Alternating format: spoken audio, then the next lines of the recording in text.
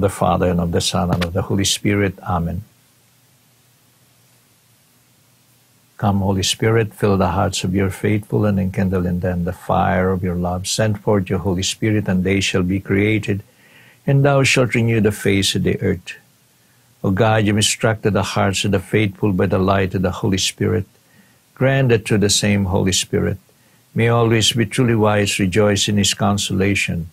To the same Christ our Lord. Amen. Hail Mary, full of grace, the Lord is with thee. Blessed art thou among women, and blessed is the fruit of thy womb, Jesus. Holy Mary, Mother of God, pray for us sinners, now and at the hour of our death. Amen. Mary, help of Christians, pray for us.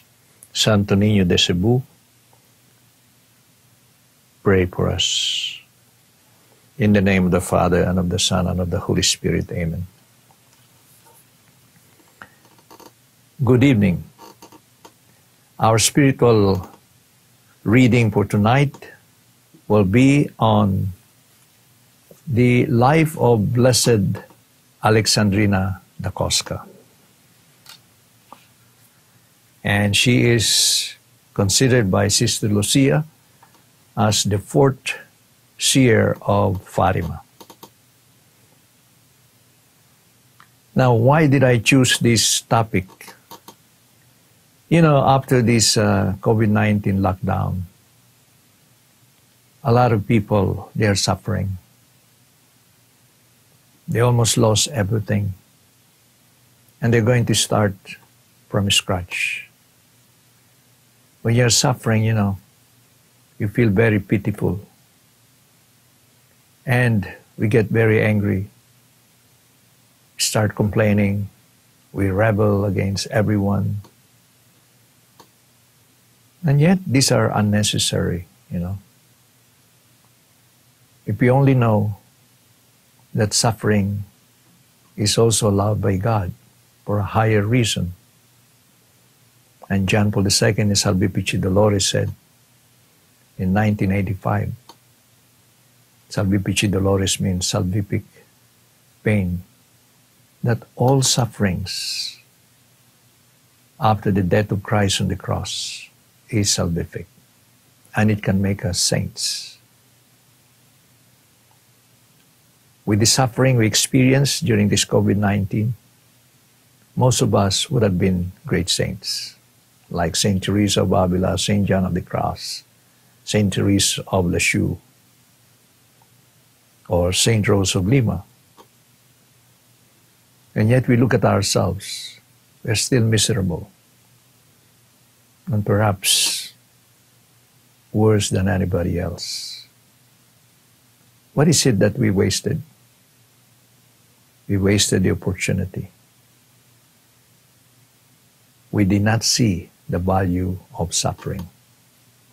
And here we have Blessed Alexandrina da Costa, a simple lady who just stayed one and a half year in school and the rest of her life. At the age of nine, she started working as a farm girl. And then, of course, when she got sick because of the cruel master,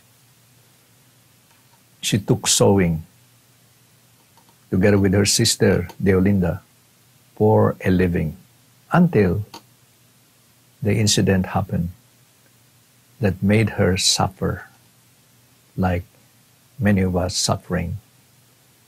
But what is the difference? She suffered so much, we suffered so much. We are not saints, she became a great saint. All right. Just a little background of Alexandrina da Costa. She was born in 1904, March 30, in Balasar. This is roughly around 200 kilometers from Fatima. She is best known as a mystic and victim soul, a member of the Association of the Salesians Cooperator. She died on October 13, 1955, and beatified by John Paul II in 2004. who cited her secret to holiness was her genuine love of God through suffering.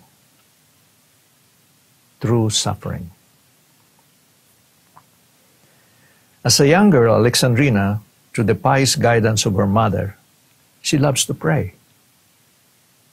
So the importance of parents of initiating your children to pray. And she studied her faith. Well, as long as she learned a little bit of reading and writing, and she could understand the Bible, the catechism, that was enough. With the tutorship of the mother, she learned her faith very well. And she also loves to sing religious songs. And what was implanted by the mother to her was, together with the other daughter, Deolinda, is dedication to work for the love of God. So you see, at an early age, she made the right path. Great athletes are because at an early age they were started correctly. Great saints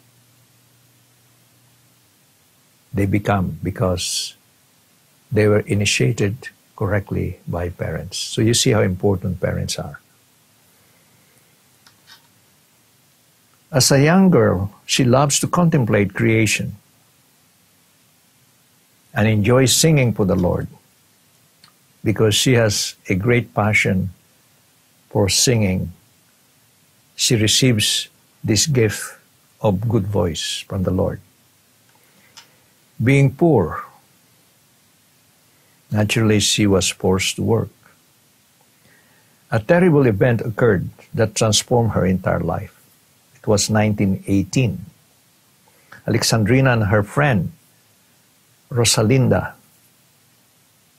while they were taking sewing lessons from her older sister, Deolinda, her former employer in the farm and two men forced themselves in her house and wanted to commit immoral acts with them.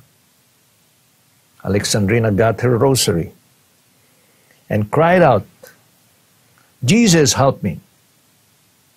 And to protect her purity, God impelled her to jump out of the window, 13 feet high or 4 meters high. And she landed badly on the ground. Her spinal column was badly damaged and was irreparable. Still, she was able to rise up, got a piece of wood, big enough, heavy enough that she can carry, and went back to the room and used it to drive away all the evil people, to protect the purity of her sister and her good friend. With the help of God, she was able to frighten these evil people and they were saved from their purity. And she said later on, I'm ready to die for my purity because it is my love for God. How I wish, you know, our younger generation will read her life.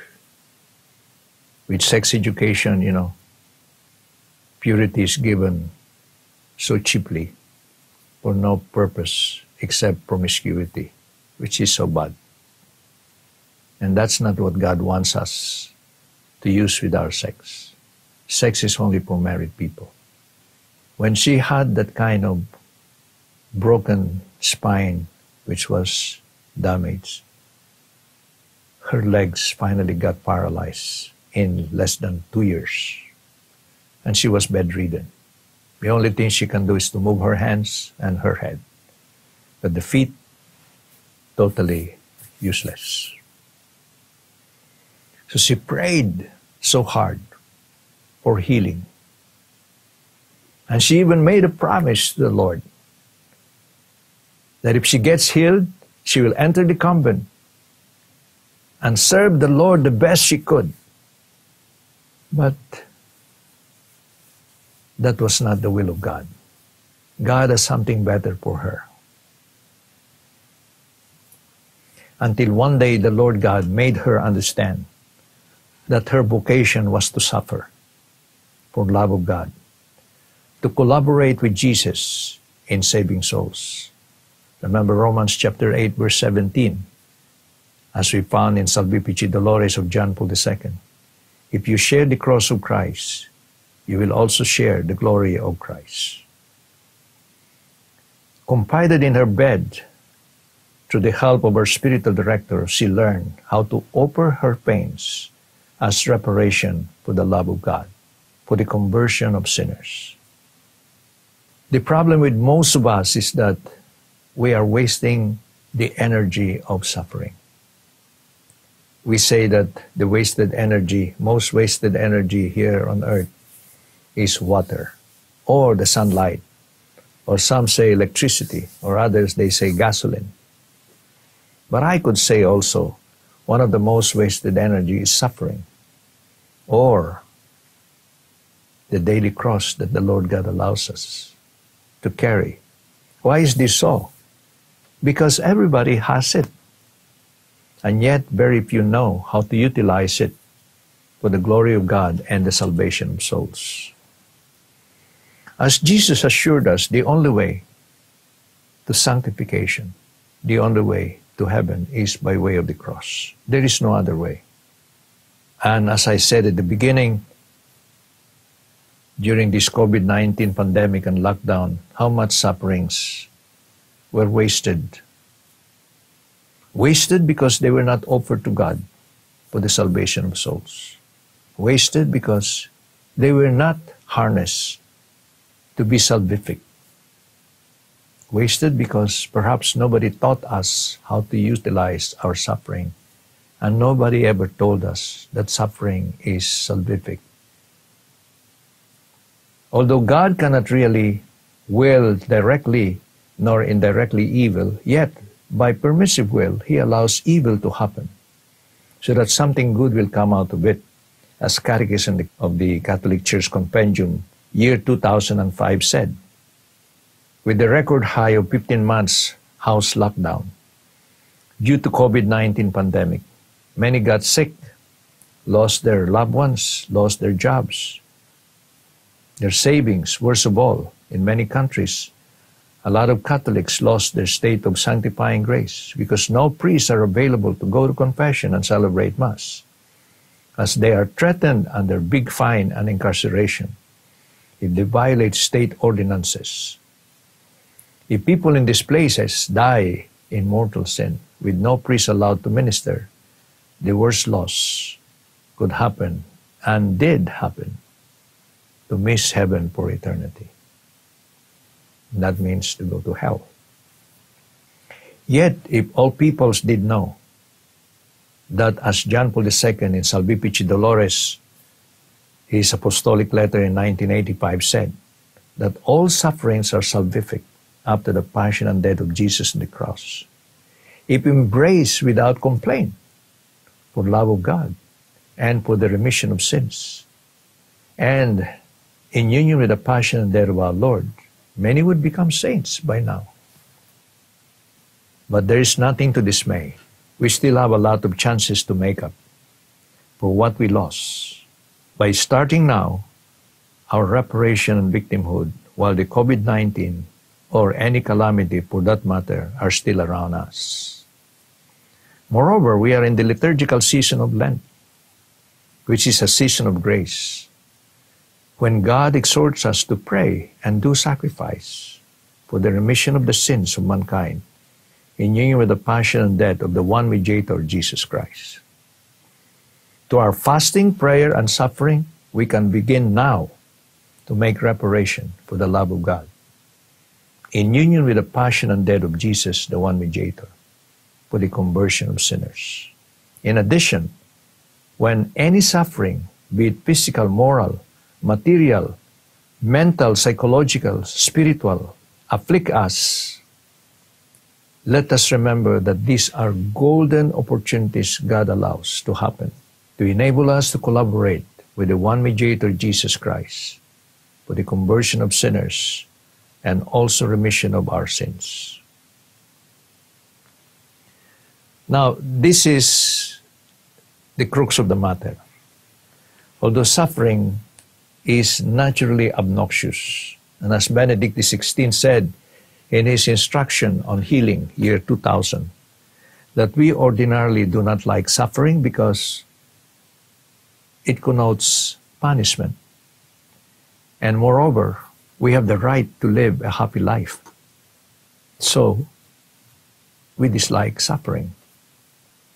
However, Benedict XVI said that if suffering is understood properly as salvific for love of God, our cross will not only bring salvation of souls, but also heavenly bliss called ecstasy that will make us the happiest even while here on earth.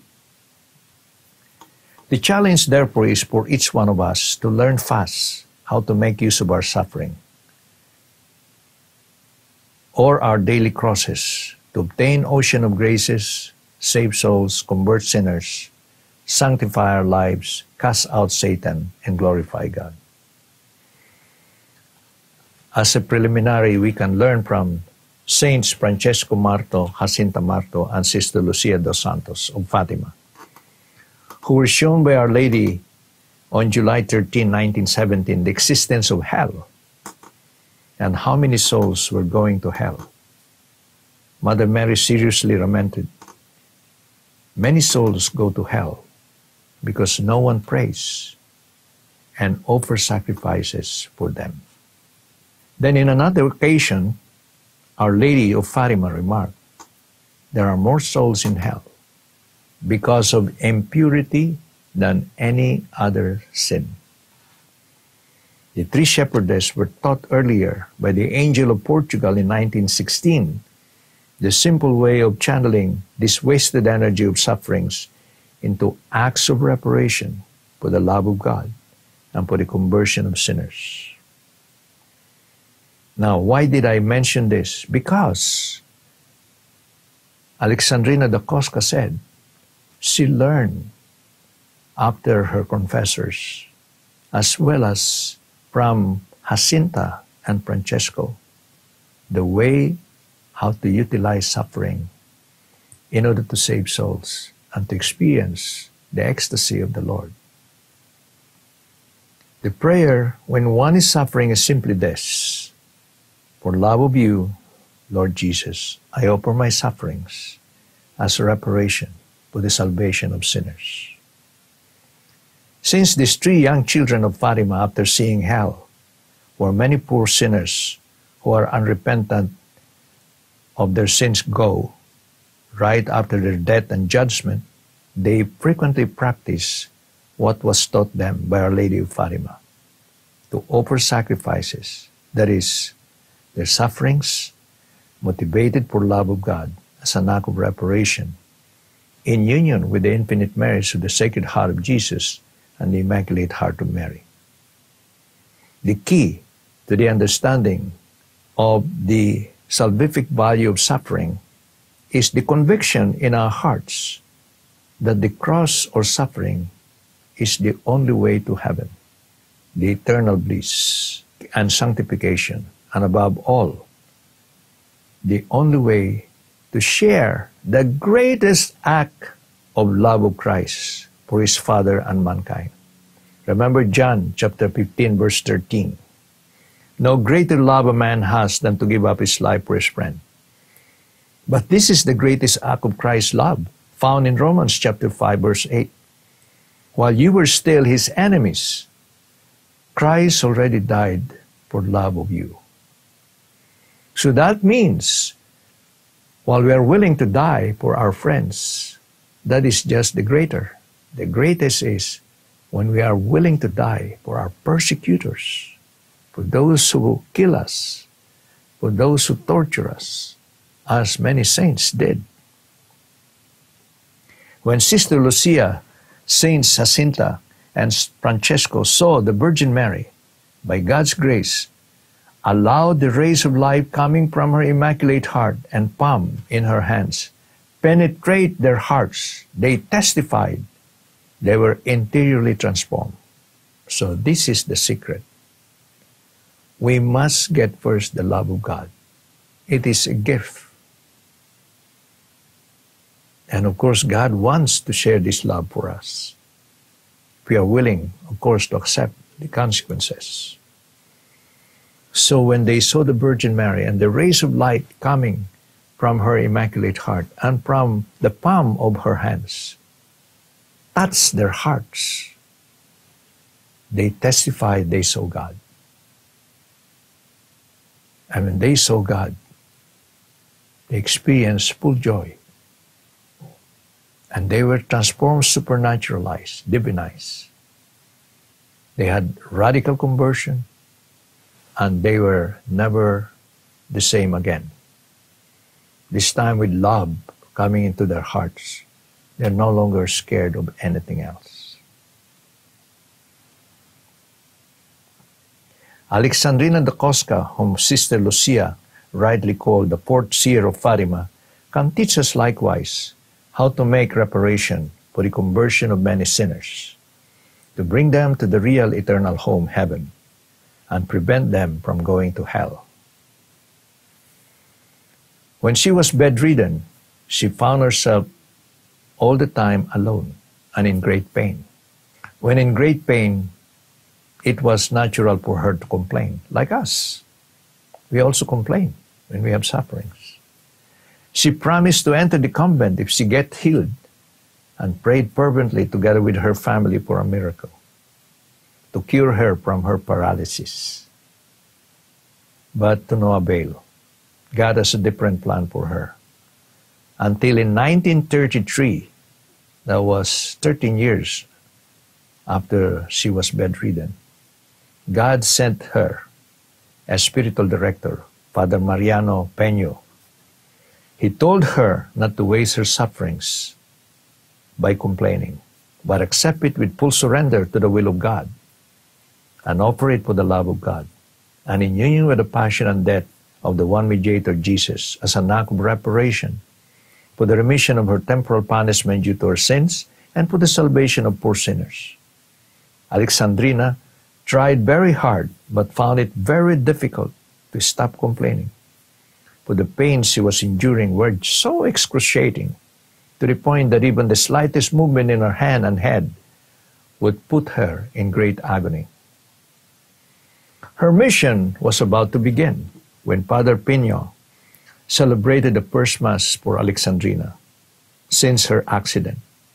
She recalled, with that first Mass, she said afterwards, our Lord began to increase her tenderness towards me, and at the same time, the weight of my cross.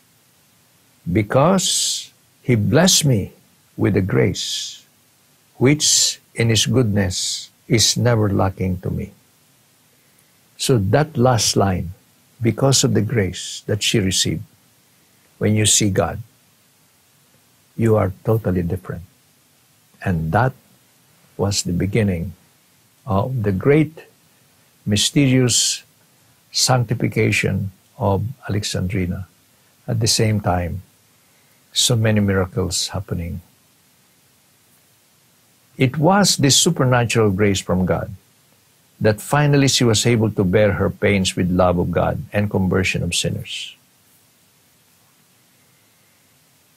So for us, we might still be in the process of, you know, trying to struggle on how to accept the suffering as a reparation because perhaps we did not have yet that encounter with God wherein God reveals His love to us and hits us in the heart. Perhaps because we don't really know how to pray. We don't know how to keep silent. We don't know how to have the solitude. So this is where we have to work hard. The silence, the solitude, so that we can encounter Christ in our prayer face to face. And with that rays of light coming from Jesus, that's our heart. Then suffering becomes salvific. It will no longer be as excruciating and as obnoxious as it used to be. It will become even so sweet that we would even desire for it. And as we see it here with Alexandrina. After the first Mass, Alexandrina said, Jesus arrived. She appeared to me in natural dimensions. That means as you see a human being. But of course, he's not just a human being, he's God man. As if he had just been taken down from the cross. I could see deep open wounds in his hands, his feet, and his side. The blood streamed from these wounds, and from the breast it came with such force that after having drenched the garment around the waist, it flooded onto the floor. Jesus drew near to the edge of my bed. With great love, I was able to kiss the wounds in his hands, and I longed to kiss those in his feet. But due to paralysis, I was unable to do so. Though I had nothing, I said nothing of this desire. Jesus knew what was in my mind. And with his hands, he helped he held up one foot and then the other and offered them to me to kiss. Enraptured, ecstatic, I contemplated the wounds in his side and the blood that was gushing from it until, filled with compassion, I threw myself in his arms and cried out, Oh my Jesus, how much you have suffered for me. I remained in his arms for some moments, and finally, Jesus disappeared. So, this was the first encounter with love that changed her totally. Love that dispels all fear. Love that is stronger than death. This sublime vision left an indelible impression on Alexandrina.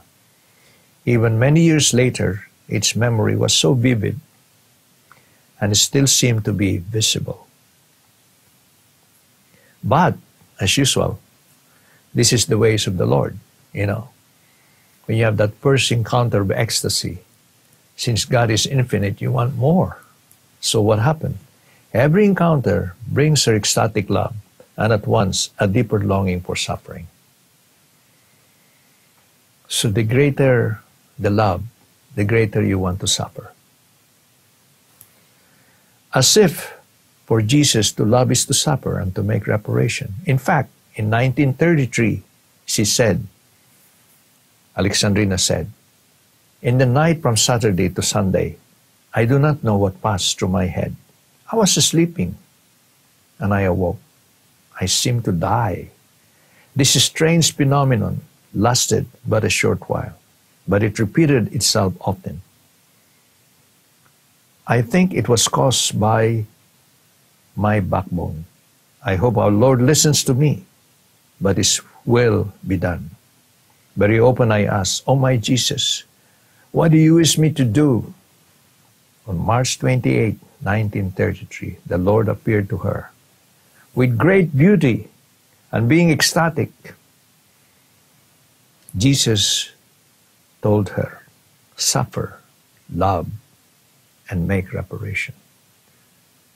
So for her, the three things become one. When I love, I love to suffer. When I love, I love to make reparation. Why is it that we don't make reparation? Why is it that we hate suffering? Simply because we don't have love. We are not yet touched by that love of God. Our prayer life is so erratic that in our encounter with God, we simply are doing a lot of bubbling, but we are not really praying.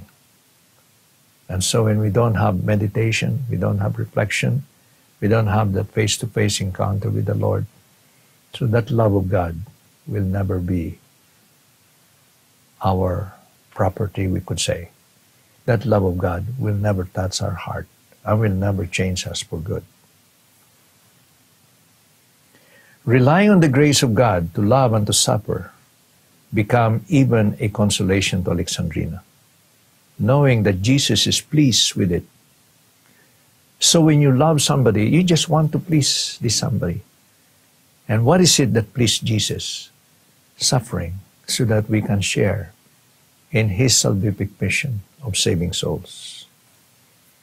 Alexandrina said, Blessed be the Lord who has called me into this world in order to suffer and to bear so many tribulations. To all this I unite many sins, which grieve me more than anything else. I ask every day for suffering. Could you imagine that? Asking every day for suffering. I receive a lot of letters from many of our covenanted members and even our members of the Alliance, the Holy Family. They're all asking me, please, Father, pray to God to stop my suffering. And here is Alexandrina, who is in love with God, who has received the love of God. Please give me more sufferings. So, simply put, why do people hate suffering? Unfortunately, they haven't yet reached that love of God. There is something wrong with our prayer life. And she continued, I ask every day for suffering, and I feel great spiritual consolation when I suffer more. Could you imagine that? When you suffer more, you have more consolation. For us, what happens? When we suffer more, we have more anxieties, we have more headaches, and we are get we are more impatient and irritable. Hmm? Because God is not with us. That's why we react this way. But if the love of God is there, we are totally different. However, there are things that cost me so much, but God's will, not mine, be done. This was December 30, 1933. Of course, after another consolation, she was allowed to suffer more. This time, she could not eat anything. And her nourishment was just on the Eucharist. We remember Matthew chapter 4, verse 4 Not by bread alone does man live, but by the Word of God. On September 6, 1934, Alexandrina experienced another extraordinary ecstasy in which the compassionate voice of Christ seemed to invite her to draw closer to his sacred heart and share in the intense fire of his redeeming pain. So there is so much fire, there's so much love in the intense pain of Jesus. Give me your hands because I want to nail them with mine. Give me your feet because I want to nail them to my feet. Give me your head because I want to crown it with thorns as they did to me. Give me your heart because I want to pierce it with a lance as they pierced mine. Consecrate your body to me. Offer yourself totally to me. Help me in the redemption of mankind. After this experience, she had what we call stigmata and crown of thorns. Two hands side, but she begged to make it invisible. So there was a time when Father Mariano arrived and she was bleeding profusely in the head. And Father Mariano said, Where did the blood come from? And Alexandrina said, Father, I have to tell you this. I now have the crown of thorns. It's invisible, but uh, it's there. I asked the Lord to make it invisible. And Father Mariano said, Oh, now, now I understand why there are so many souls saved, converted, healed, delivered from diabolical infestation because of your suffering in union with the passion death of Jesus. And Alexandrina generously consented to the request of Jesus. Starting 1934, God permitted Alexandrina to be attacked by the devil that brought her several contortions and sufferings. As if to say, the more you love, the more you want suffering. And when you have experience of ecstasy, you still want more suffering. And so this time, it was the devil who will make her suffer. And during the ecstasy, Jesus told her, My daughter, suffering is the key to heaven. So we have the key to heaven. Do you have the key to heaven yet? If you don't have suffering, you don't have the key. You may have the suffering, but it's not the key yet. Why? Because you are complaining. Because you don't have the love. Because you are not praying properly. Because we hate prayer, which is our face to face encounter with the Lord every day. I've endured so much to open heaven to all mankind, Jesus said, but for many it was in vain. Could you imagine that? For 4,000 years, Adam and Eve closed heaven, opened hell. And after Jesus arrived, when he died on the cross, he opened heaven. But what did he say? I have endured so much to open heaven to all mankind, but for many it was in vain. They say, I want to enjoy life. I have come into the world only for enjoyment. And what is Jesus telling us? The best enjoyment in this life, the best promiscuous pleasure you experience in this life, they are not even an iota to the ecstasy you experience when you love God. That's why, what a waste of life. God did not create us to be promiscuous. We have souls, we are not only bodies, we have souls. And so we have to nourish both. And many times when we give in to promiscuity, we are nourishing our body and our soul wrongly. Instead of being happy after doing all these things, what happened to us?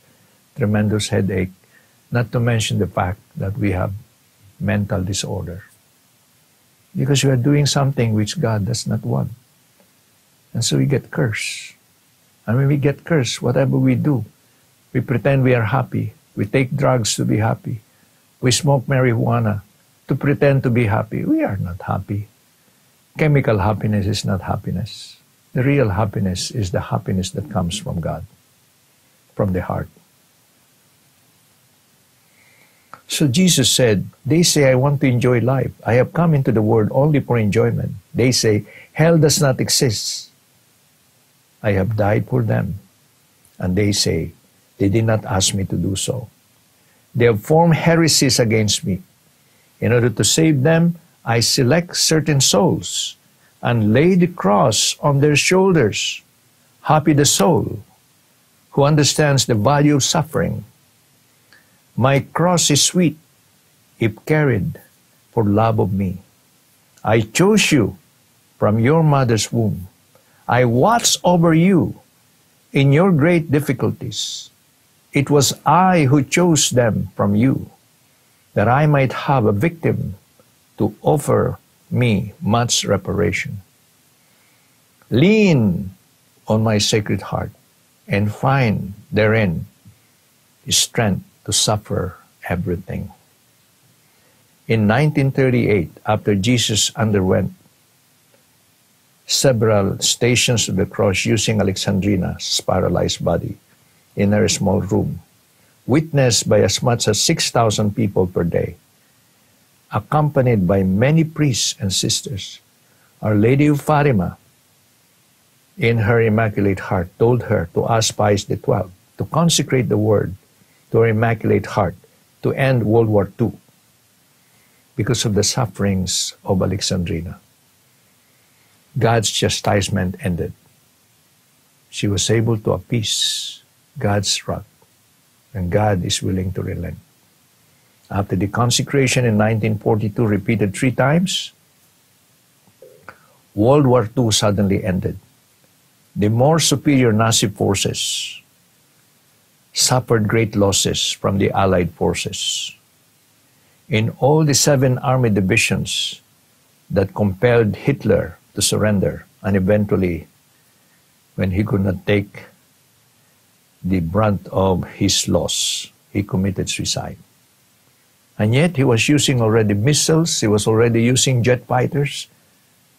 All his tanks, his uh, battleships. They're far, far superior than the Allied forces.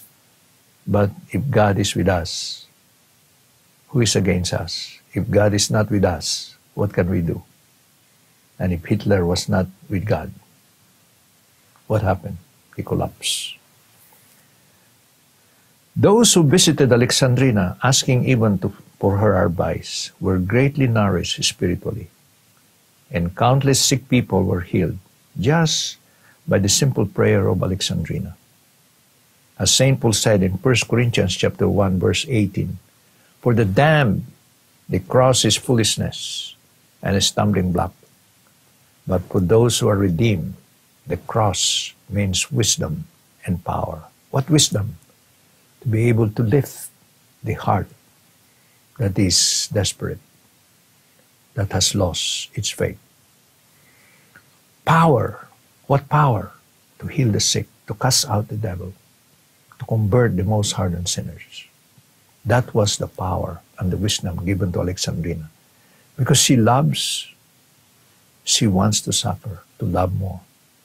And she wants to make reparation to the salvation of souls, to please God out of love for Him. Priests, nuns, monsignores, bishops, politicians, kings, princes, queens, pagans, name it, they all line up to ask for advice from this simple girl who did not even finish elementary. She did not even have the high school education only one and a half year in school. And she is advising theologians, advising learned priests and bishops. Why? The wisdom is no longer her wisdom. It is the wisdom that comes from God. And this goes only with the cross. We love Jesus. We'll also love the cross. From March 27, 1942, the new pace of life of Alexandrina emerged, wherein for 13 more years until her death, she would only survive on Holy Communion. Concerning her living on the Eucharist, Jesus told her in an ecstasy, You will not take food again on earth. Your food will be my flesh. Your blood will be my divine blood. Your life will be my life. You receive it from me when I unite my heart to your heart. So, in the alliance of the heart, if we are able to unite our heart with Jesus, what is this heart? It is the Eucharist. It becomes our nourishment. So, do not fear, my daughter. Medical doctors remained baffled at this phenomenon and thus began various tests on Alexandrina, acting in a very cold and hostile way towards her. This increased her suffering and humiliation. But she remembered the words of Jesus You will be very rarely received, and you will have no consolation here on earth. I want that while your heart is filled with suffering, on your lips there is only a smile. So, what is our conclusion? Let us not waste the suffering we're experiencing because of this COVID 19 pandemic we can be always complaining, you know, so irritable, so impatient, so restless. These are not necessary. We have heard enough. We can learn. We can start today. Pray well. Keep your silence. Ask humbly the Lord to give you that love. And when you have that love, then when you have the grace, the love that dispels all fear, the love that's stronger than death, then it is easy to accept all the sufferings. And you would have become a great saint. And not only you, but all the members of your family. Because through your suffering, you can use it as a reparation for the conversion of sinners. Alexandrina Costa, could you imagine? She stopped World War II with her reparation. And what about the millions of souls that were supposed to go to hell, but because of her reparation, she stopped. and brought them instead to the kingdom of heaven. So if all of us in all the countries afflicted by the COVID 19, we would only utilize our suffering as salvific, then we will not have World War III. We will be the happiest persons in the whole world. We'll be all saints, and we will all be going to the kingdom of heaven. Because the only way to heaven is by way of the cross, through suffering, in union with the passion and death of the one mediator, Jesus Christ. God bless you. In the name of the Father, the Son, and the Holy Spirit. Amen.